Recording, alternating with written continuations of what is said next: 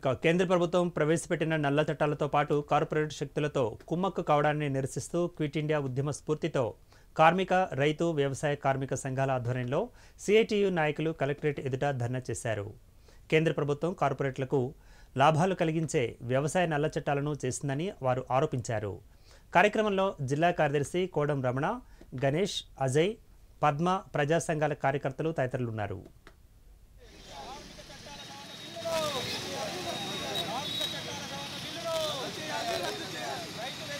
సంఘ సంస్థల ప్రైవేటీకరణను ప్రజా సంఘాల ఐక్యత ప్రజా సంఘాల ఐక్యత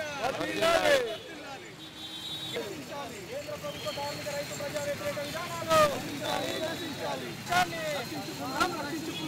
భారతదేశ ప్రజలు సేవ్ ఇండియా కార్యక్రమాన్ని పెంచిన పెట్రోల్ డీజిల్ గ్యాస్ ధరలను వెంటనే తగ్గించాలి. పెంచిన పెట్రోల్ డీజిల్ గ్యాస్ ధరలను వెంటనే తగ్గించాలి. పరిధిలోకి రాని ప్రతి కుటుంబానికి ఏడు వేల ఐదు వందల రూపాయలు. భారతదేశ ప్రజలందరికీ కరోనా వ్యాక్సిన్ కార్యక్రమాలు చేపట్టడం జరుగుతూ ఉంది. అందులో భాగంగానే ఈరోజు మన రాజన్న సిరిసిల్ల జిల్లాలో కూడా జిల్లా వ్యాప్తంగా కూడా మరి కేంద్ర ప్రభుత్వ విధానాలకు వ్యతిరేకంగా నిరసన కార్యక్రమం చేపట్టడం జరుగుతూ ఉంది.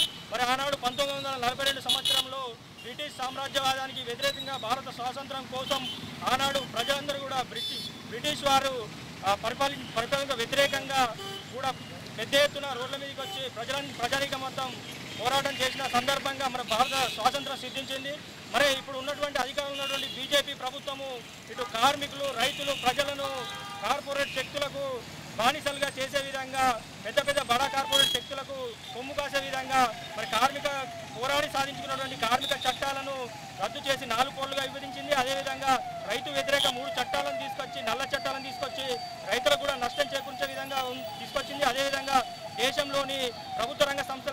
ప్రవేశిస్తూ దేశ ప్రజలకు భారాలు మోపుతూ ప్రజా వ్యతిరేక విధానాలు అవలంబిస్తూ ఉంది.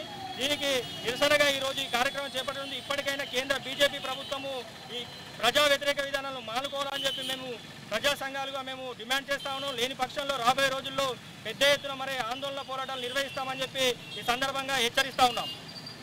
ఇండియా ఉద్యమ స్ఫూర్తితోటి ఈరోజు సేవ్ ఇండియా కార్యక్రమం సిఐటియు వ్యవసాయ కార్మిక సంఘం రైతు సంఘం ఆధ్వర్యంలో If you like this video, please like it, share it, and for more videos, please subscribe to our channel.